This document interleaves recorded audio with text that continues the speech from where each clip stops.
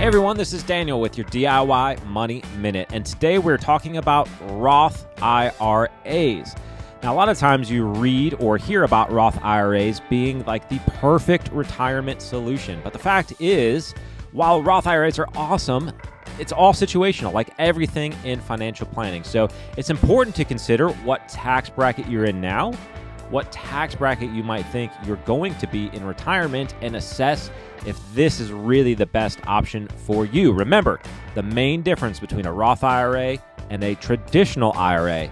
Roth IRA, you don't get any tax break today, but you're not going to pay tax later. An IRA, you're getting a tax break today, but you're going to pay tax on those funds later. So be sure to think about both your tax situation today and your tax situation in the future. Then choose the best option for you.